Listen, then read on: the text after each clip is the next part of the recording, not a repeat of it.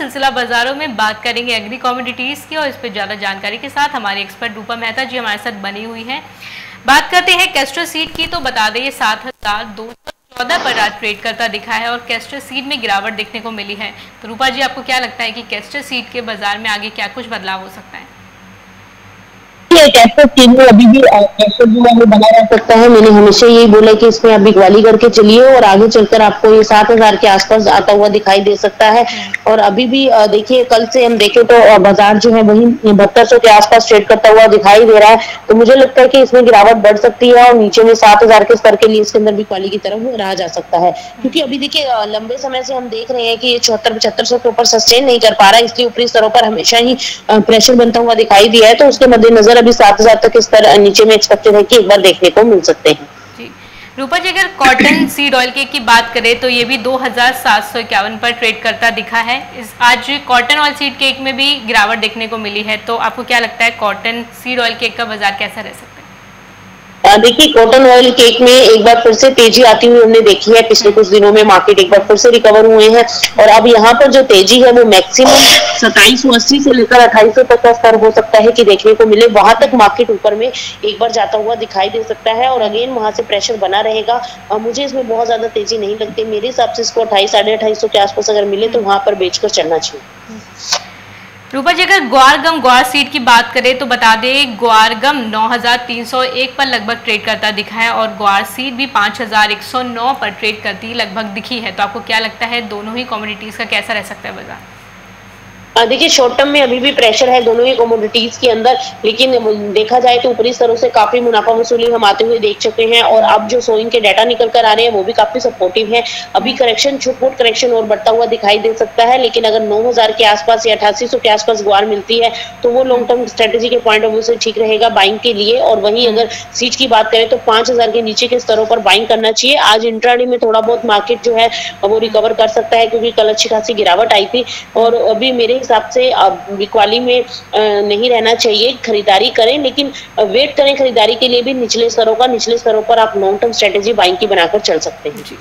रूपा जी, अगर मसालों की बात करें तो मसालों में आज गिरावट देखने को मिली है। बता दें, धनिया ग्यारह कम से कम लगभग 80 पर ट्रेड करता दिखा है। वहीं जीरा बता दें कि तेईस हज़ार तीन सौ पचास और हल्दी भी सात हज़ार छः सौ साठ पर ट्रेड करती दिखी है। मसाले में आज हल्की गिरावट देखने को मिली है तो आपको क्या लगता है, क्या ये गिरावट बनी रहेगी? देखिए अभी ऊपर से देखा जाए तो काफ़ी मार्केट जो है वो करेक्ट होता हुआ दिखाई दिया है चाहे वो धनिया हो या फिर हल्दी हो लेकिन जीरा ऑलरेडी तेज़ी के साथ कारोबार करता हुआ दिखाई दे रहा है आप देखिए हम्म। साढ़े तेईस हज़ार के तेईस हज़ार के इनफैक्ट ऊपर है चौबीस हज़ार के बेहद करीब हमने इसको जाते हुए देखा और वहाँ से एक हल्की करेक्शन बनती हुई दिखाई दी है हम्म। लेकिन अभी भी बाज़ार तेज़ी में है आज शॉर्ट टर्म में थोड़ा सा गिरावट और बढ़ हम्म। सकती है धनिया की बात करें तो धनिया में ग्यारह तक नीचे एक बार मार्केट आ सकता है और वहीं अगर जीरे की बात करें तो बाईस तक का स्तर डाउन साइड में देखने को मिल सकता है लेकिन ट्रेंड अभी भी पॉजिटिव है वहीं हल्दी की बात करें तो हल्दी में भी गिरावट जो है वो बढ़ती हुई दिखाई दे सकती है और नीचे में एक बार करेक्शन के मद्देनजर बाज़ार जो है छिहत्तर तक सेप्टेम्बर वायदा जा सकता है लेकिन वहीं ये लेवल्स काफ़ी अट्रैक्टिव होंगे बाइंग के लिए फर्दर आगे चलकर फेस्टिव हम्म। सीज़न की एक डिमांड पिकअप होती हुई मसालों की दिखाई दे सकती है और मुझे लगता है कि इसमें एक तेज़ी बन सकती है हम्म। रूपा जी अगर गेहूँ की बात करें तो गेहूँ का बाज़ार कैसा रह सकता है? क्योंकि सरकार ने गेहूँ उत्पादन बता दे दस दशमलव छह चार करोड़ टन होने का अनुमान लगाया है। तो आपको क्या लगता है कि गेहूँ के बाज़ार में क्या कुछ आगे देखने को मिल सकता है? देखिए अगर गेहूँ की अगर हम बात करें तो गेहूँ में जो बाज़ार है अभी सुस्ती के साथ कारोबार करता हुआ दिखाई दे सकता है। हम्म। गेहूँ में तेज़ी तभी बनती दिखाई देगी जब सरकार की तरफ़ से एक्सपोर्ट खोल दिया जाएगा। हम्म। अगर निर्यात खुल जाता है तो थोड़ा बहुत बाजारों में अपसाइड आता हुआ दिखाई दे सकता दे सकता है और दूसरी तरफ़ यूक्रेन और रूस के बीच अगर रूस प्राप्त होता है तो भी गेहूँ की कीमतें जो है वो नीचे जाती हुई दिखाई देंगी और अगर युद्ध समाप्त नहीं होता और निर्यात खुल जाता है, तब इसमें एक तेज़ी बनती हुई दिखाई दे सकती है। लेकिन फ़िलहाल के लिए मार्केट एक सीमित दायरे में कारोबार करता हुआ दिखाई दे सकता है। हम्म। रूपा जी, खाद्य तेलों की बात करें तो खाद्य तेलों में काफ़ी टाइम से गिरावट देखने को मिल रही है तो आपको क्या लगता है कि खाद्य तेलों का बाज़ार कैसा रह सकता है? देखिए, खाद्य तेलों में दबाव जो है वो लगातार बना हुआ है और ये अभी बना रह सकता है। सोयाबीन की अभी जो खबरें निकल कर आ रही है कि सोयाबीन के अंदर थोड़ा बहुत हो सकता है कि प्राइसेस बाउंस लेते हुए दिखाई दें क्योंकि इस हम्म। बार काफ़ी करोड़ डैमेज की भी बातें निकल कर आ रही हैं तो अभी के लिए बाज़ार जो है ऊपरी स्तरों पर लुढ़कते हुए नज़र आ रहे हैं हम्म। और खाद्य तेलों में फ़िलहाल प्रेशर जो है वो बना रह सकता है क्योंकि पिछले हफ़्ते भी हमने देखा था कि मार्केट लगातार करेक्शन के साथ जाते हुए दिखाई दिए थे विदेशी बाजारों में भी गिरावट जो है लगातार बनी हुई है तो अभी के लिए कोई बहुत ज़्यादा पॉजिटिव मोमेंटम बनता हुआ दिखाई नहीं दे रहा है मुझे लगता है कि एक साइडवेज मोमेंटम बना रह सकता है और सभी तेलों में फ़िलहाल गिरावट आती हुई दिखाई दे सकती है चाहे वो पाम तेल हो सरसों तेल हो या फिर सोयाबीन क्योंकि देश भर में अभी देखे तो हम काफ़ी महँगाई भी बढ़ती हुई दिखाई दे रही है और अभी भी देखा जाए तो सरकार ने काफ़ी जीएसटी भी काफ़ी चीज़ों पर अगेन से अप्लाई कर दिया है लेकिन उसके बावजूद हम देख रहे हैं कि सरसों तेल में गिरावट है। सरसों तेल की अगर बात करें तो एक सौ सत्तावन से लेकर एक रुपए के आसपास जो है प्रति लीटर भाव जो है वो देखने को मिल रहा है।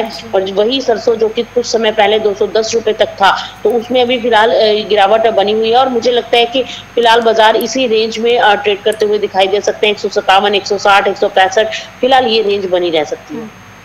रूपा जी, अगर प्याज की बात करें तो केंद्र सरकार ने प्याज की कीमत पर लगाम लगाने के लिए रिकॉर्ड बफर स्टॉक बनाया है। तो आपको क्या लगता है कि ये बफर स्टॉक बनाने के बाद से क्या कुछ फ़र्क पड़ेगा प्याज के दाम पर?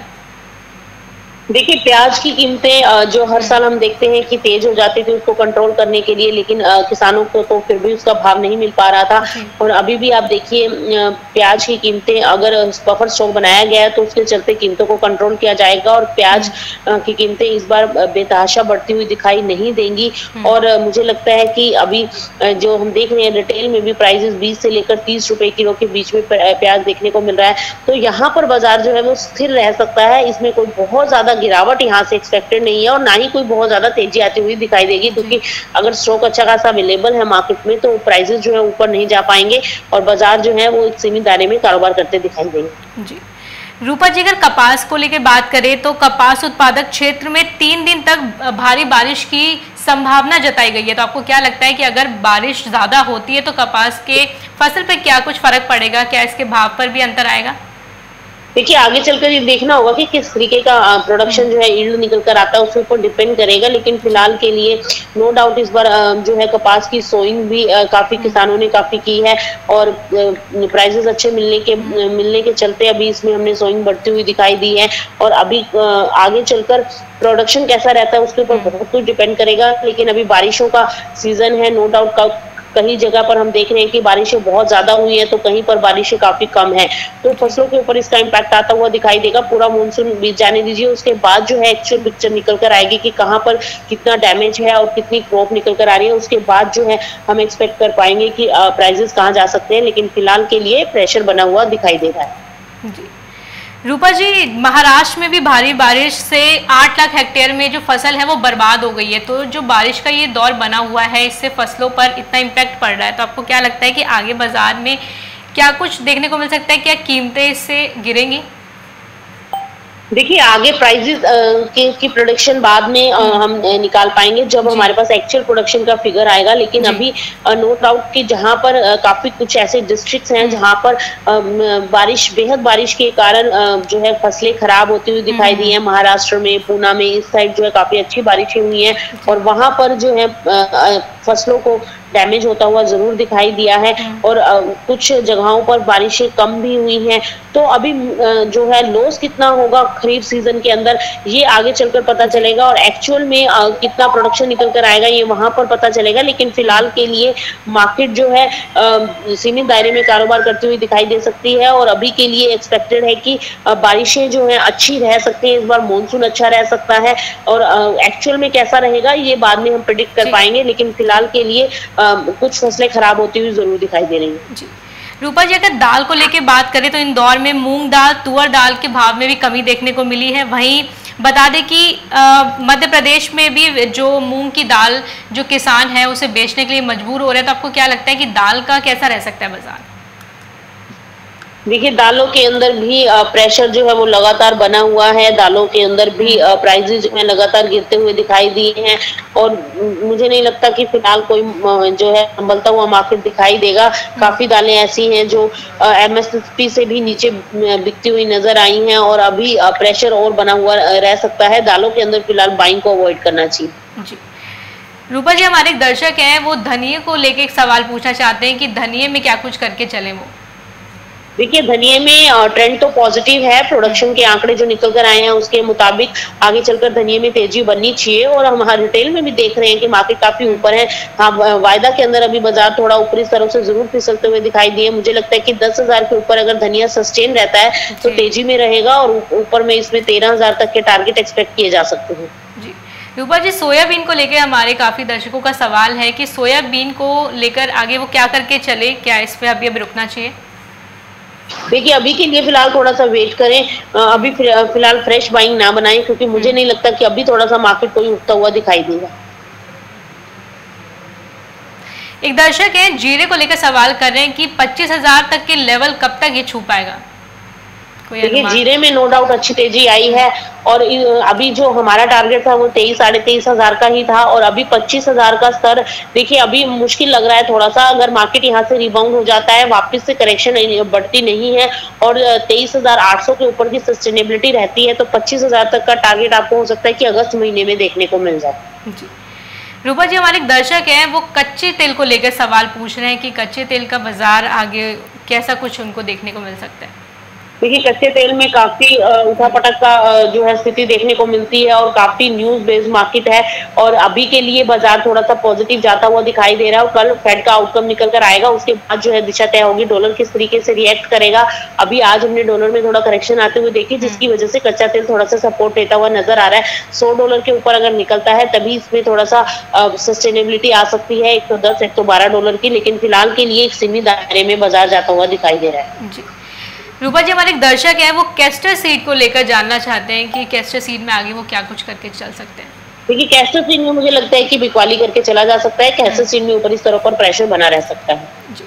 रूपा जी मेरा आपसे काफ़ी सवाल ये रहेगा कि इंट्राडे में एग्री कॉमोडिटीज में कौन सी ऐसी कॉमोडिटीज है जिसमें आगे मुनाफा कमाया जा सकता है?